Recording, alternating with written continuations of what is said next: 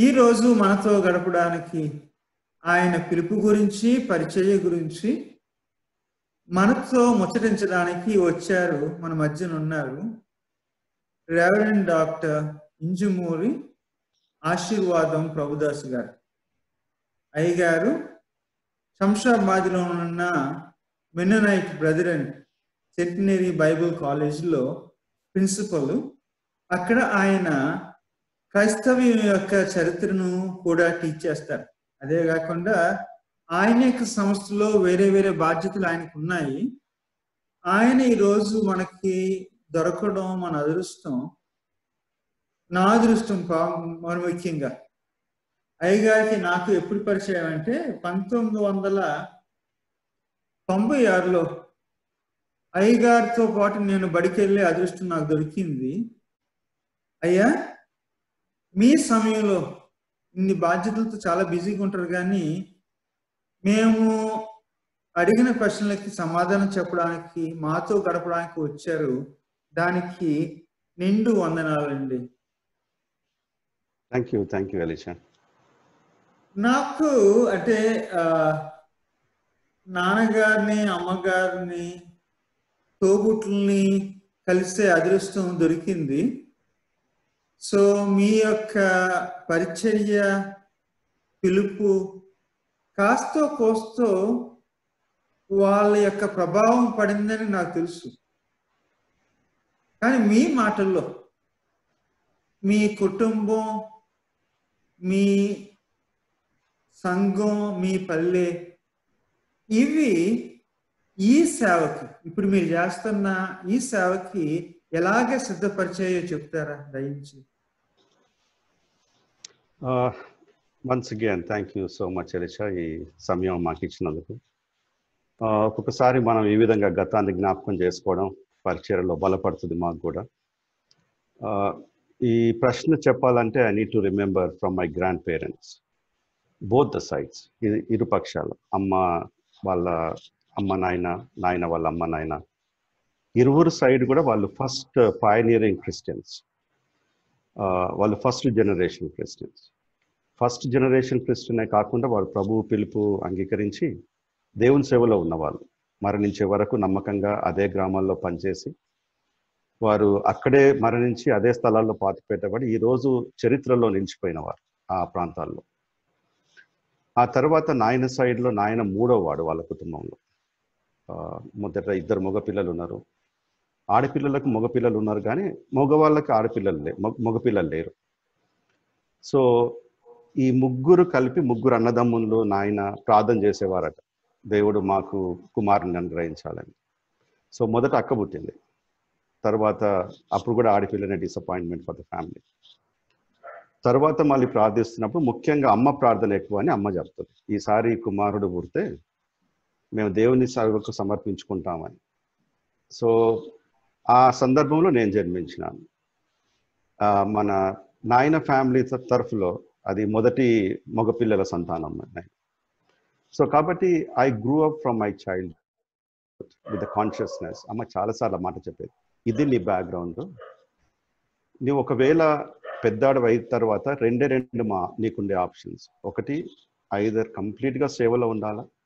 లేదంటే ఒకవేళ నువ్వు ఎక్కువ చదువుకొని డాక్టర్ కావాలనుకుంటే డాక్టర్ అయ్యి ప్రజల మధ్య ఉండి సేవ చేయాలి. సో ఆ విధమైన ఇన్ఫ్లుయెన్స్తో చిన్నప్పటి నుంచి నేను పెరిగినాను. అందుకే నాకు I didn't have big choices. Intermediate కాగానే మాకు శంషాబాద్లో ఉన్న థియాలజీ కాలేజ్కి రావడం అక్కడ నా నా చదువును ఆరంభించడం ఇక్కడ ఈ వన్ ఇయర్ ముగించుకోగానే యూనియన్ బిబ్లికల్ సెమినరీ పూనాకు వెళ్ళడం అవి ఆ విధంగా కంటిన్యూ అయిపోయినాయి.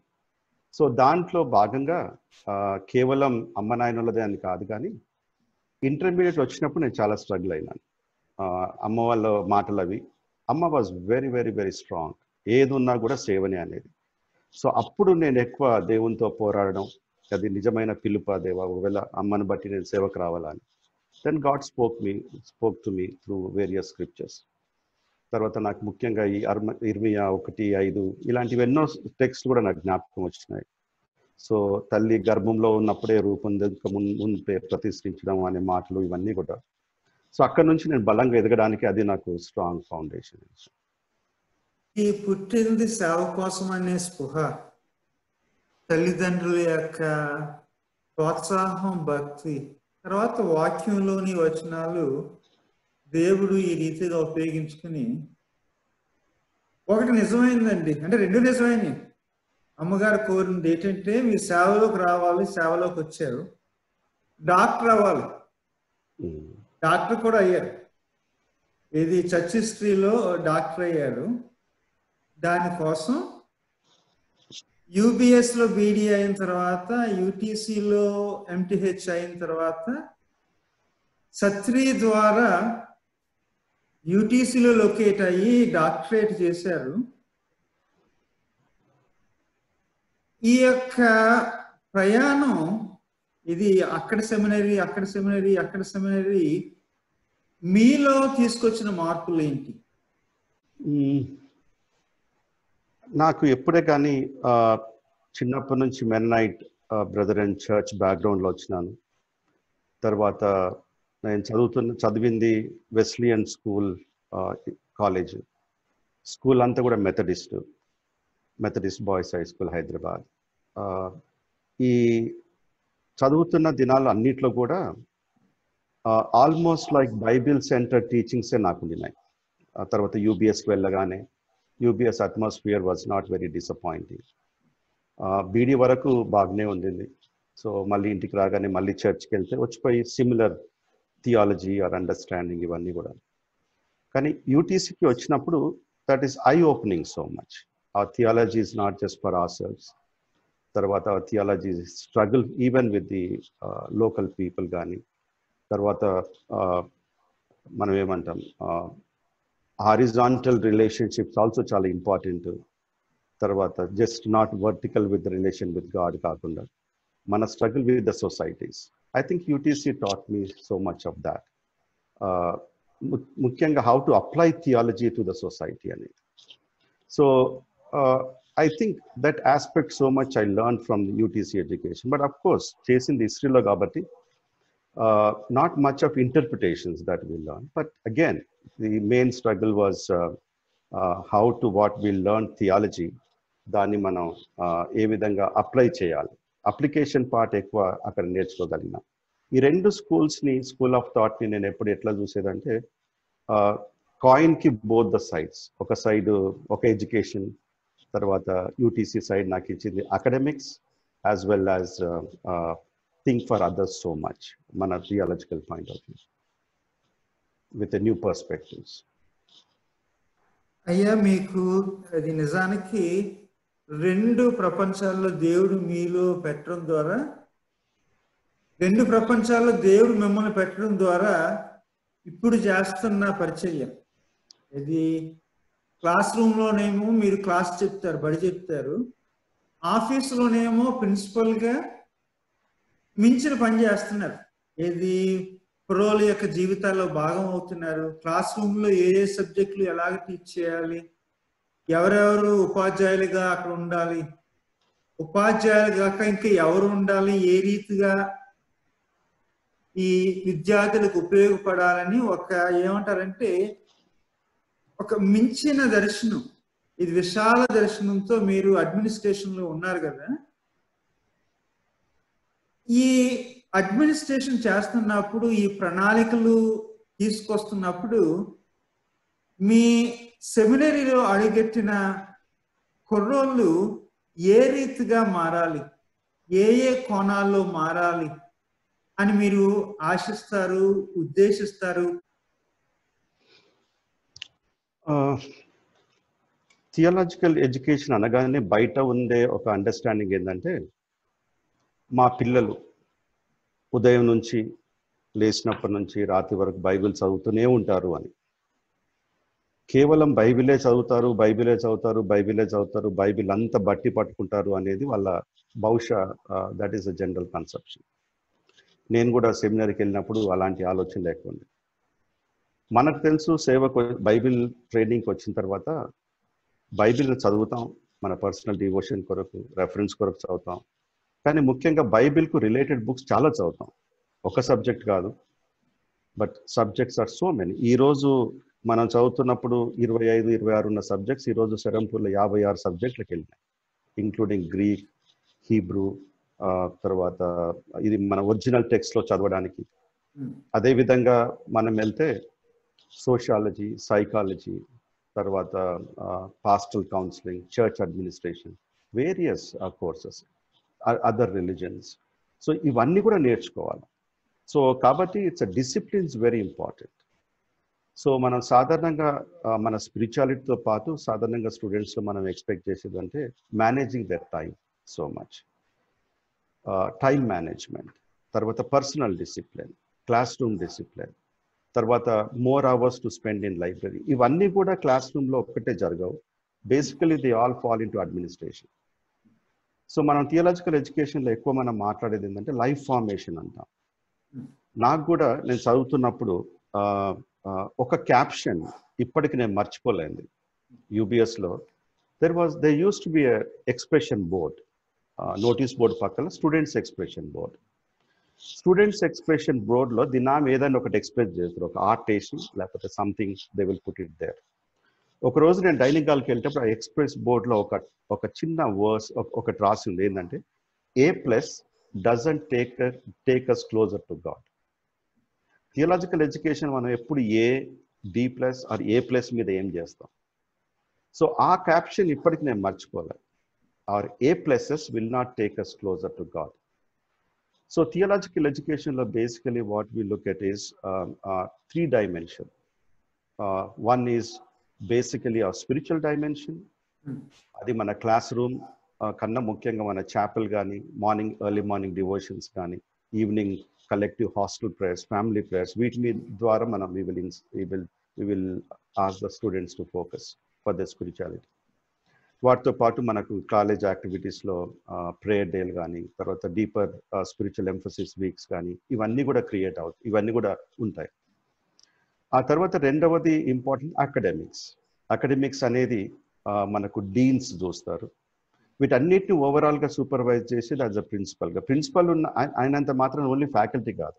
I need to know each student ah each student యొక్క లైఫ్ కానీ లైఫ్ స్టైల్ కానీ తర్వాత ఇవన్నిటి మీద కూడా మనం ఫోకస్ చేసి with with shepherd and sheep concept basically to correct them various ways ఈ హోల్ థియాలజికల్ ఎడ్యుకేషన్ నుండి life formation will take them to more successes in their life మూడవది ప్రాక్టికల్ అందుకే మనకు సెనెట్ ఎడ్యుకేషన్లో we have a practical ministry very seriously ఇంకా గత ఐదారు సంవత్సరాలుగా practical ministry also is credited it has credits now so కాబట్టి we need to facilitate them to the churches దాని కొరకు మనం సెమినర్లో ట్రైనింగ్ ఇవ్వాలా వాళ్ళ ప్రీచింగ్ స్టైల్లో ఎందుకంటే వర్షిప్ అండ్ ప్రీచింగ్ కాకుండా మన చాప్టర్ ప్రీచింగ్స్లో సో ఈ మూడు డైమెన్షన్స్ మీద వాళ్ళను ప్రత్యేకించి ఎక్కువ శ్రద్ధ పెట్టేటట్లు మనం చూసే బాధ్యత ఒక అడ్మినిస్ట్రేటర్ది అడ్మినిస్ట్రేటర్తో పాటు హోల్ అడ్మినిస్ట్రేషన్ అడ్మినిస్ట్రేషన్ ఉన్న other deans and wardens so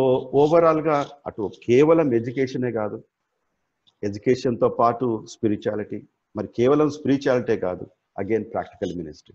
ఈ మూడు కలిసి వెళ్ళినప్పుడే there will be a success in their life ministry మీ దృక్పథంతోనూ దర్శనంతోనూ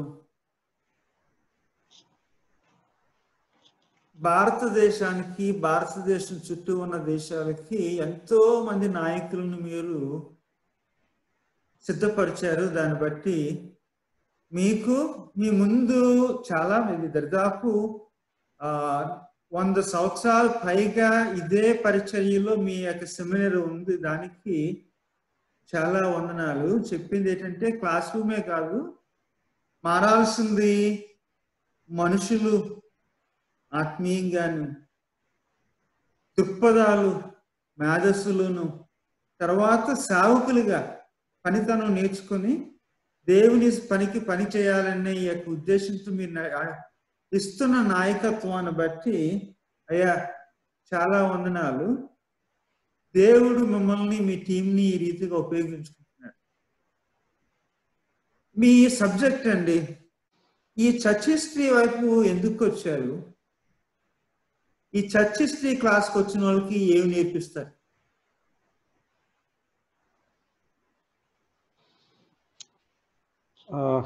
ఎలిషా ఇప్పుడు మనం ఫిఫ్టీ సిక్స్ సబ్జెక్ట్స్ అని నేను కో- చెప్పేటప్పుడు ఆ మాట అన్నాను సెమినర్లో చదువుతామని.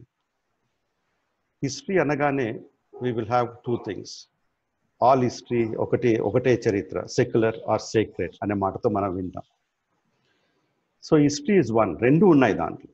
బయట చదివేటప్పుడు సేక్రెట్ హిస్టరీ అనేది ఉన్నా కూడా దాని మీద మనం ఫోకస్ చేయం. Sacred in the sense church సైడ్లో ఉండేటివి కానీ ఎనీ రిలీజియస్లో ఉండేటివి కానీ కేవలం పొలిటికల్గా ఏం జరిగిందనే దాంతోనే మనం ఎక్కువ ఫోకస్ చేస్తాం. కానీ మనకు ఈ ఇన్ భారతదేశంలో ఉన్న ఈ సెనెట్ ఆఫ్ సిరంపూర్లో ఐదు సబ్జెక్టులు ఉన్నాయి దాదాపు హిస్టరీలో జనరల్ హిస్టరీ జనరల్ హిస్టరీ అనగానే అప్ యాక్ట్స్ ట్వంటీ ఎయిట్ తర్వాత కా నుంచి ఉన్న చరిత్ర రెండు వేల సంవత్సరాల వరకు ఆ దేశాలకు ఎట్లా స్ప్రెడ్ అయింది ఏమైంది దాని సోషియో పొలిటికల్ రిలీజియస్ హిస్టరీస్ ఏంటి సో వీటన్నిటినీ ఒక సబ్జెక్ట్గా చదువుతారు. రెండవది history of Christianity in India. ఇప్పుడు భారతదేశపు హిస్టరీలో ఫిఫ్టీ టూకి మన ఫస్ట్ సువార్త వచ్చిందంటే అక్కడి నుంచి ఇక్కడ మళ్ళీ అది కూడా రెండు వేల సంవత్సరాల చరిత్ర. దాంతోపాటు ఎక్యుమ్యూనికల్ మూవ్మెంట్ అనేది ఇట్లా రిఫర్మేషన్ అనేది ఇట్లా దాదాపు ఐదు సబ్జెక్ట్స్ ఉన్నాయి. ఈ ఐదు సబ్జెక్ట్స్ చదవటాలకే అదే ఒక బీడీ స్టడీస్ అనిపిస్తుంది స్టూడెంట్ కోర్సులలో. తర్వాత దాంట్లో ఉండే డేట్లు కానీ దాంట్లో ఉండేది. So usually what we say is church history కానీ హిస్టరీ అనగానే మనసులోకి వచ్చేది ఏంటంటే అమ్మో ఆ డేట్లు ఆ పేర్లు మేము జ్ఞాపకం పెట్టుకోలేదు. ఒక భయం క్రియేట్ అవుతుంది విద్యార్థులు. సో హిస్టరీని మనం టీచ్ చేస్తున్నప్పుడు చాలా మటుకు ఎక్కువ ఆలోచన చేసిందంటే దీన్ని స్టోరీ లాగా ఎట్లా చెప్పాలా? తర్వాత దాని ఇంటర్ప్రిటేషన్ ఏంటి? సో ఓన్లీ డేట్లు పేర్లు ఇవ్వడం కాదు కానీ తర్వాత మూడవది ఎక్కువ శాతం నేను ట్రై చేసేది క్లాస్ రూమ్లో ఏంటంటే నా చరిత్ర నుంచి ఆరంభించడం. నేను చెప్పినాను మా తాత కాడి నుండి మా ఇద్దరు తాతలు సేవకులు సేవకుల నుంచి. వాళ్ళిద్దరు పనిచేసిన గ్రామాల్లో ఈ రోజు వెళ్తే ఎవ్వరికి వాళ్ళు తెలియని వాళ్ళు లేరు. ఈవెన్ నెక్స్ట్ జనరేషన్లో ఉన్న వాళ్ళు కూడా ఓ యాకో పంతులు మనువని వా నువ్వు అంటారు. ఆరోన్ పంతులు మనువని వా నువ్వు అంటారు. అవి చిన్న గ్రామాలే. కానీ ఈ ఇంట్రెస్ట్ నాకు ఎట్లా వచ్చిందంటే నేను బీడీ అయిపోయేటప్పుడు అయిపోగానే వచ్చి మనకున్న లైబ్రరీలో కానీ మాకున్న సెమినరీ బుక్స్లో కానీ కొంత కొంత ఎక్కడ చూసినా కానీ చాలా చాలా తక్కువ ఈ మన నేషనల్స్ చేసిన చరిత్ర నాకు ఎక్కడ కనబడలేదు సో దాన్ని బట్టి ఐ డెవలప్ సమ్ మా ఇంటి ఫ్యామిలీని బట్టి అది నాకు వచ్చింది. So I develop some passion వీళ్ళ చరిత్రను ఎట్లా హైలైట్ చేయాలి? సో అది నన్ను ఇంకా డెప్త్లోకి డెప్త్లోకి తీసుకుని వెళ్ళింది నేను రీసెర్చ్ కొరకు ఎంటీహెచ్ అయిపోయిన తర్వాత as a part of Mennonite global history project రాస్తున్నప్పుడు I travel in several archival places in Mennonite seminaries ఆ ఆశతో ఎన్ని డాక్యుమెంట్స్ వెతికినా I could not find so దాని నుంచి I had to come back స్టూడెంట్స్ని మోటివేట్ చేయడం ఆయా గ్రామాల్లో ఉన్న వాళ్ళ చరిత్ర మొదట సువార్త ఎట్లా వచ్చింది ఆ గ్రామాలకి. ఏ విధంగా ట్రాన్స్ఫర్మేషన్ మొదలైంది మన తాతలు ఆ దినాల్లో ఎట్లుండింది. So this all creates lot of creativity so అందుకే హిస్టరీ క్లాస్లకు వచ్చినప్పుడు పిల్లల్లో చాలా ఇంట్రెస్ట్ చూస్తాను నేను. మన మన మా సెమినార్లో కానీ నేను టీచ్ చేస్తున్నప్పుడు. ఇప్పటికైనా అదే నాకు ఉన్న ఈ బౌండ్నెస్ విత్ ద స్టూడెంట్స్ తర్వాత కొన్ని ప్రాక్టికల్ అసైన్మెంట్స్ రాయడం.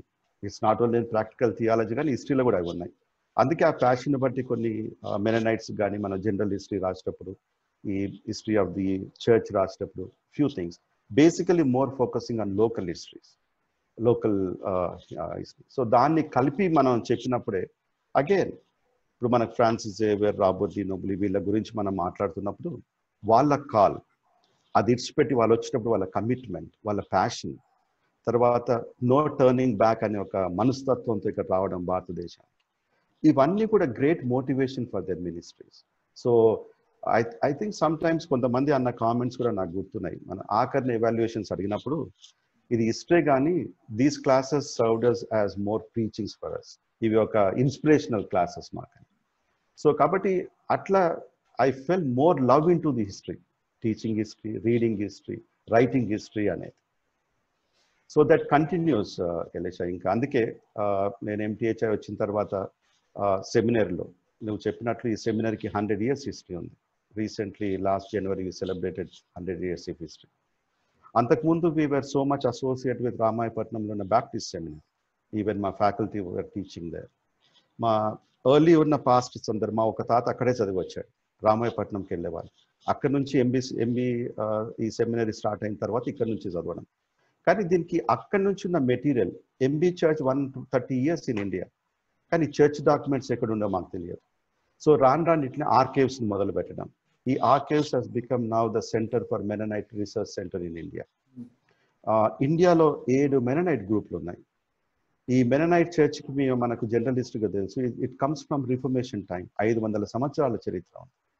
So maximum generalist general Mennonite హిస్టరీని ఇండియాలో ఉన్న హిస్టరీని అంతా గ్యాదర్ చేసి ఒక ప్లేస్కి తీసుకొచ్చినందుకు అదర్ మెననైట్ గ్రూప్స్ కానీ మా మెననైట్ బ్రదర్ అండ్ స్టూడెంట్స్ ఎవరైనా ఎంటీహెచ్ డిటిహెచ్ చేస్తున్న వాళ్ళు ఉన్న పిహెచ్ చేస్తున్న they come to our archives and do research so దీన్ని బట్టి ఒక గొప్ప విషయం ఈ రోజు నేను చెప్పాల్సింది ఏం తెలుసా అంటే ఈ ప్యాషన్ని బట్టి తర్వాత ఫ్యూ ఇయర్స్ బ్యాక్ స్టార్ట్ అయిన ఆర్క్లో ఇప్పుడు with the Senate of Serampore we are starting MTh programme in the history so కొన్ని డిపార్ట్మెంట్స్కు స్టూడెంట్స్ రావడం కష్టం కానీ హిస్టరీకి ఫస్ట్ టైమే ఎనిమిది తొమ్మిది మంది అప్లికేషన్స్ చూసినాను.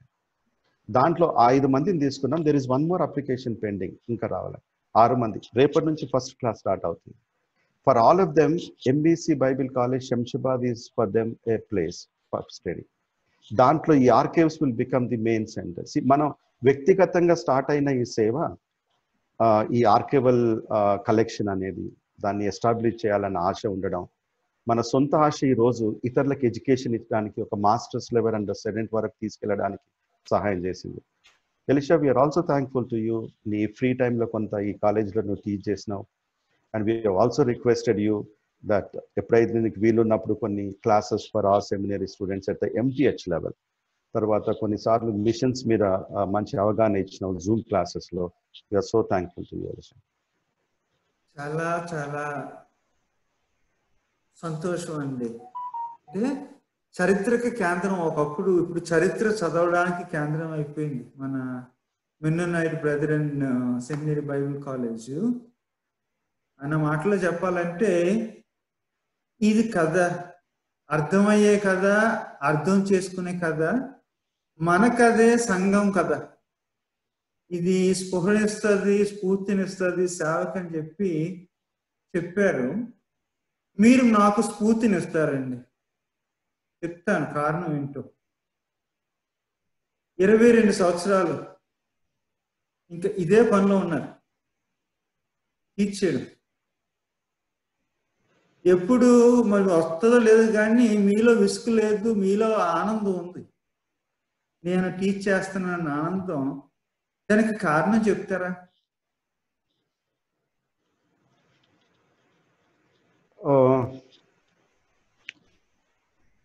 Elisha that's basically more of commitment Elisha so theological education నేను ఒక ప్రొఫెషన్ లాగా చూడకుండా వొకేషన్ లాగా చూస్తాను ఆ రెండిట్లో తేడా ఏంటంటే first when we start it's not what is our qualification మన క్వాలిఫికేషన్ బట్టి మన స్కిల్స్ని బట్టి మన ఎక్స్పీరియన్స్ని బట్టి that leads into our vocation vocational courses ఎట్లా ఉంటాయో ఒకసారి ఒక వొకేషన్కి వచ్చేసిన తర్వాత then we should have our own personal commitment so ఇంతకాలంగా ఇప్పుడు ఎంటీహెచ్ అయిపోయినాక కానీ నేను రీసెర్చ్కి వెళ్ళినప్పుడు Christina my wife she study in USA తన మాస్టర్స్ అక్కడే చేసి పీస్ ఎడ్యుకేషన్ చేసి దెర్ వేర్ స్కోప్స్ అక్కడే ఉండిపోవడానికి తనకు కానీ మనకు కానీ కానీ ఆల్వేస్ చర్చ్ ఓరియంటెడ్గా ఉంది థియలాజికల్ కమిట్మెంట్తో ఉంది. సో మనం థియలాజికల్ ఎడ్యుకేషన్కి ఎక్కడో వెళ్ళి చదవాల్సి వచ్చింది. మనం రీసెర్చ్కి వెళ్ళాలంటే ఎక్కడో వెళ్ళాల్సి వచ్చింది. ఈవెన్ కొన్నిసార్లు ఇండియా మొత్తం తిరిగినా మన హిస్టరీ దొరకలేదు. నేను ఎంటీఎస్ చేస్తున్నప్పుడు నాకున్న ప్రొఫెసర్స్ అడిగారు. నీవు ఈ టాపిక్ మెననైట్ మీద చేస్తా ఉన్నావు. Mennonite Dalit conversions to Mennonite అనేది నా థీమ్ కనీసం ఒక ఐదు పుస్తకాలు నువ్వు చూపి then I will allow to do the thesis నాకు ఐదు పుస్తకాలు దొరకలేదు. సో ఆ ఛాలెంజ్ని తీసుకొని ఈరోజు ఎంటీహెచ్ వరకు ఈ స్థలాన్ని తీసుకురాగలిగినామంటే ఈ రియల్లీ నీడ్స్ అ కమిట్మెంట్ దీంట్లో ఎన్నో సవాళ్ళు ఉన్నాయి ఆ సవాళ్ళు ఎట్లుంటాయంటే కొన్నిసార్లు మనం బయటకు వెళ్ళిపోవాలా అనే అంత సవాళ్ళు ఉంటాయి సవాళ్ళు లేని స్థలాలు ఎక్కడ లేవని నేను అనుకుంటాను. మనం సేవకు వచ్చినామంటేనే ప్రతి ఒక్కరం మనకున్న పరిధిలో అవి మనం అవి ఫేస్ కావాలి. కానీ ఇక్కడే ఉండి ఇప్పుడు ఈ రోజు కూడా ఈ ఈ అనతి కాలంలో ఈ కొంతకాలంలో మనం చూస్తే టెన్ ఇయర్స్ ప్రిన్సిపల్గా చేసిన వాళ్ళు ఈ మధ్యకాలంలో లేరు. మన పెద్ద సెమినరీస్లో కానీ తర్వాత మా సెమినార్లో కానీ maximum they were three years three years నాకన్నా ముందు ఒక సో బీడీ అయిపోయి ఈరోజు ఎంటీహెచ్కి వచ్చిన ఈ కాలేజ్కి దాదాపు పదేళ్ళుగా నేను ప్రిన్సిపల్గా ఉంది దాంట్లో ప్రిన్సిపల్ బాధ్యత కేవలం అడ్మినిస్ట్రేషన్ కాదు. We need to raise the funds always keep an eye on infrastructural developments లేకపోతే ఈ హయ్యర్ స్టడీస్ రావు. సో వీటన్నిటికీ నేను ఒకటే ఒకటి ఏమంటే మన commitment always I remember my grandparents వాళ్ళు మొదలైన ఈ సేవ ఇంకా ముందుకెళ్ళాలి. సో దాన్ని బట్టే the great joy that I have is both the children వాళ్ళతో ఎప్పుడు మీ సేవకు రమ్మని అడగలేదు నేను. కానీ మమ్మల్ని చూసిన తర్వాత మా కష్టాలు చూసిన తర్వాత ఇబ్బందులు చూసిన తర్వాత నేను ఏమనుకున్నా అంటే వాళ్ళు ఇరువురు ఎప్పుడు కూడా సేవ అనరు అని అనుకున్నాను నేను. But both of them what the said చూసిన తర్వాత నన్ను క్రిస్టినాను చూసిన తర్వాత they wanted to again follow in our footsteps వాళ్ళు ఇరువురు కూడా థియాలజీకి రావడం. షైని పెద్ద పాప తన ఎండి తర్వాత టిహెచ్ఎం బయటనే చేసి ఈరోజు పిహెచ్డి ప్రోగ్రామ్లోకి రావడం.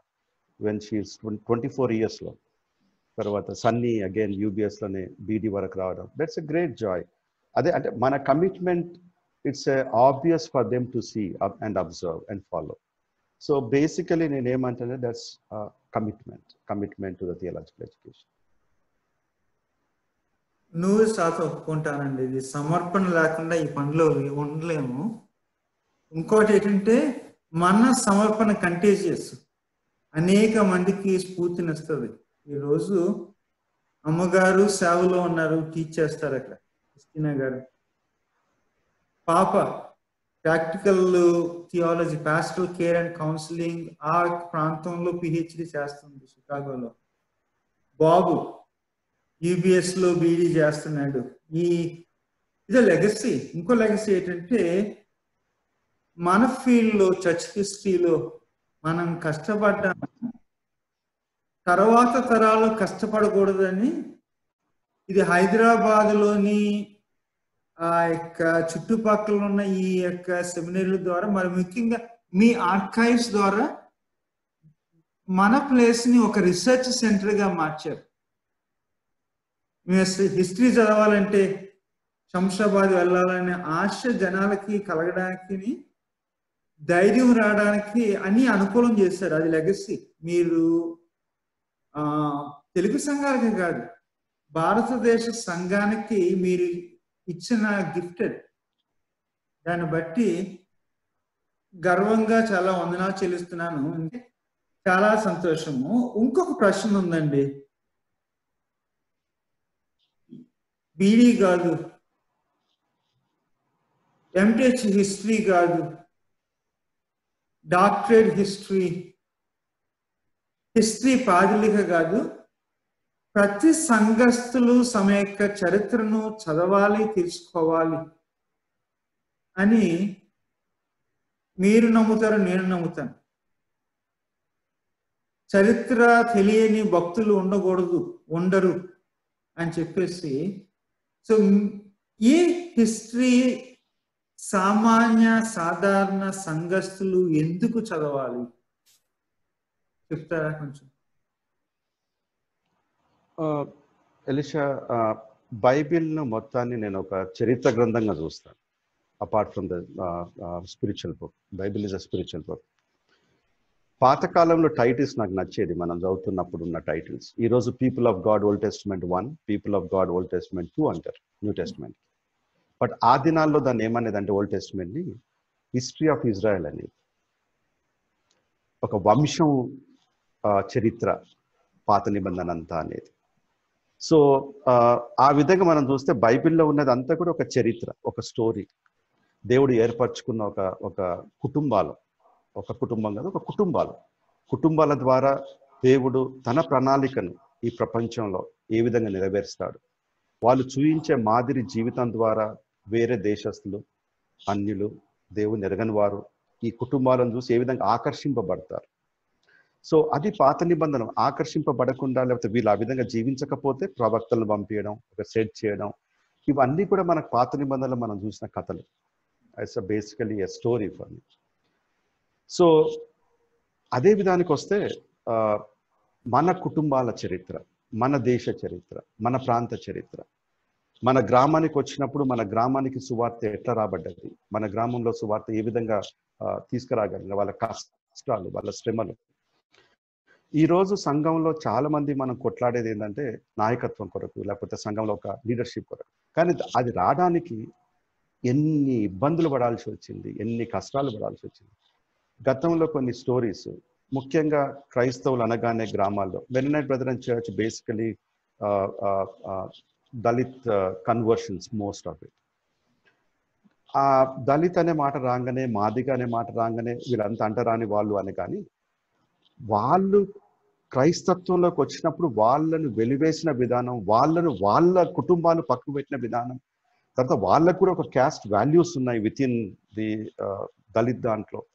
సో ఈ ఇబ్బందులు అన్నీ కూడా అంటే మన పితరులు ఏ విధంగా కష్టపడి మనకు ఈ విశ్వాసాన్ని అందించినారు అని ప్రతి ఒక్కరూ మనం తెలుసుకోవాలి. అందుకే ఇప్పుడు యశయ గ్రంథంలో మనకున్న మాట ఉంది నువ్వు ఏ గోతిన నుండి తీయబడ్డాయో ఏ బండ నుండి చెక్కబడ్డాయో నువ్వు తెలుసుకోవాలని. సో అది ప్రతి ఒక్కరం మన గతం ఏంటి? మనం ఏ విధంగా ఈ రోజు ఈ స్థాయికి వచ్చినా మనం తెలుసుకున్నప్పుడు will be stronger and stronger in of faith ఇప్పుడు కొత్త నిబంధనలో యేసుక్రీస్తు ప్రభు సువార్త మనం తెలుసుకున్న వాళ్ళం పాత నిబంధన ఎందుకు చదవాలా?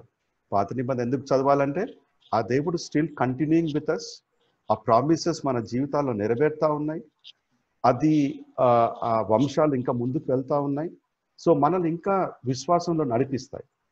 సో కాబట్టి మనం కూడా ఈరోజు మన ఫ్యామిలీస్ హిస్టరీ నాకు ఎప్పుడు కూడా my my grandfathers were my inspiration నేను నైంటీ నైన్లో ఫస్ట్ రీసెర్చ్ కొరకు యుఎస్కి వెళ్ళినప్పుడు it's also happen that I was one of the speakers for Asia night in Mennonite brother and hundred years mission history mission ప్రోగ్రాంలో so నా కళ్ళల్లో నీళ్ళు తెప్పించిన ఒక సంఘటన.